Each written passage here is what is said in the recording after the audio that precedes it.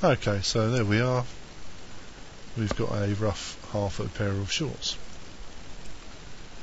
And yeah, you can do what you like really. You can design things, and, you know, make it a bit more fancy, or put a split in, or you know whatever you like at this stage. Uh, but just for now, we're going to have a plain pair of shorts, uh, and we need to mirror them. So press S to go to symmetry, click the x-axis, and you see there we've got a pair of shorts uh, which more or less meets up. Now they don't have the back, and that's alright, I'm happy with that. Uh, I'm going to adjust that in a moment. Uh, but at the front, I'm just going to move these apart because I do want an extra uh, you know, ring of geometry down there just to keep it distinct. Now at this stage you probably make uh, same uh, thing I do. You can't move on this side of the model because it doesn't exist yet. If you're doing your work you have to do it on the side you started out with. Okay. So making the adjustments in the uh, in this bit that you want. Uh, but I'm happy with that. Uh, I might move these a bit closer together. Now the reason I'm leaving this open is because while we're modelling here, this is going to do its absolute best to stick to the geometry, which means a lot of it's going to slide into uh, bottom there and become a bit distorted. Now when I've finished doing uh, all of the adjustments that we're going to do, oops, I'm on the wrong side, uh, I'm going to add that in and it won't because we're just going to put a single poly across. Okay. So as I said, that mesh doesn't exist yet on that side. To make it exist, you have to press symmetry, uh, and then when you turn off your symmetry plane uh, with S and no symmetry, it's all there. Uh, if you have symmetry on, you can still do your moves and such like, and it will work. Uh, but at this stage, I want symmetry off.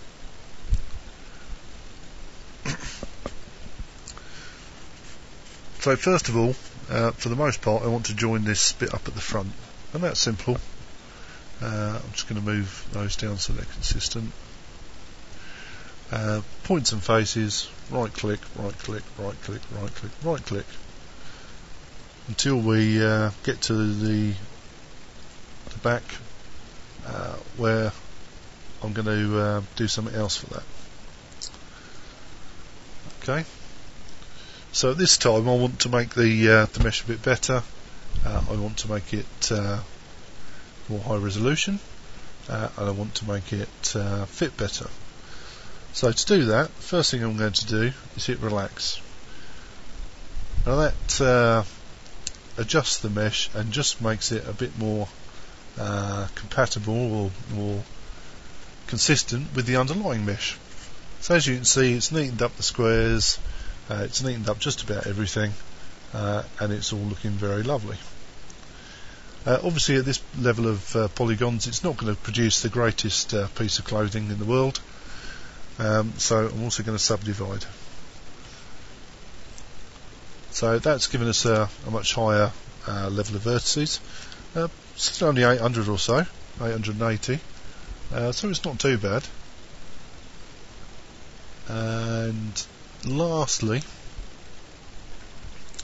we're going to add some uh, geometry down the back. Hopefully this will uh, not distort too much and try and uh, stick to the bottom. So points and faces then. Right click, right click, right click, right click. All the way, whoops. That's not right, is it? You see it's being slightly contrary about its selection, but you know we accept that.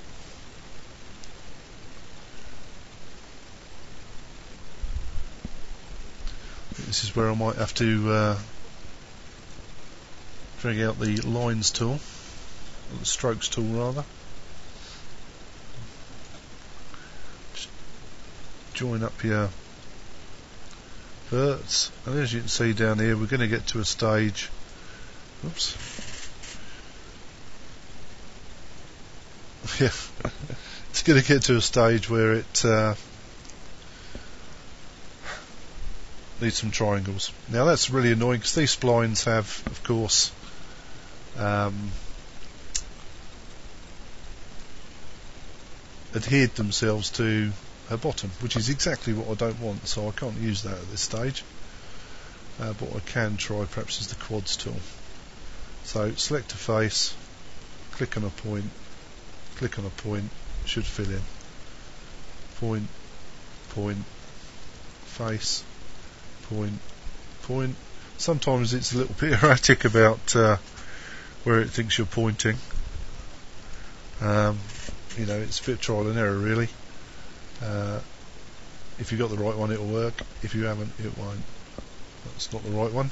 That's not to say you can't just simply move to the uh, move tool uh, and weld it in. Uh, I can't remember whether I mentioned it or not. My memory is terrible. Uh, if you use the move tool and move it towards something, let go, it will weld it. Shan't belabour that too much because I've probably told you already. Okay. So, just got one more to add down here. Uh, and then we're in a situation where uh, we're going to have to have some triangles. Which is annoying, but not the end of the world.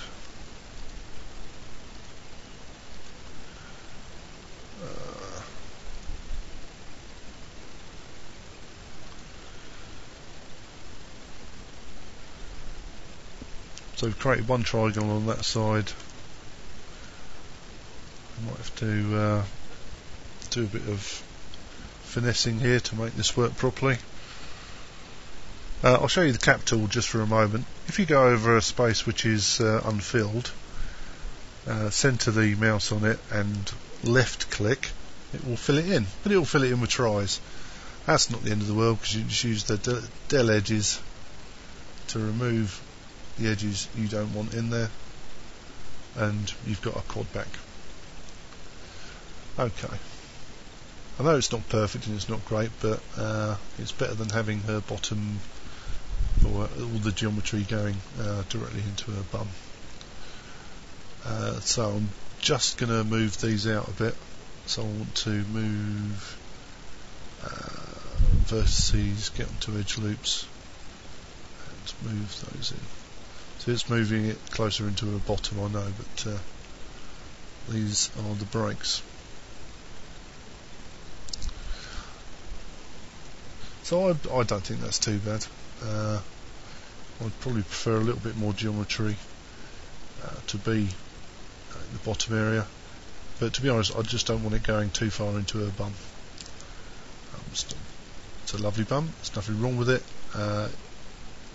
It just makes it all more, more confusing.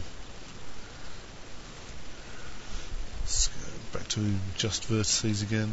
Uh, move that one out a bit, and that one. Now, as it is, it looks alright.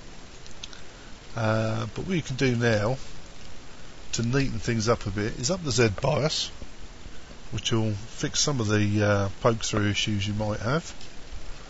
Uh, and then use the extrusion tool.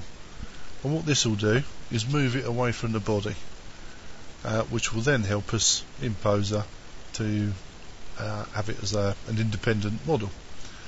If you don't use any extrusion uh, what happens is when you import the mesh it will almost be the identical size and shape of your base mesh uh, which you don't want because you can use it then. So that's it uh, for this part really. You know, the geometry you use and you know, how dense it is and all that sort of stuff is entirely, you know, your own uh, preferences. Uh, the only thing we have to do now is sort the UVs out. Uh,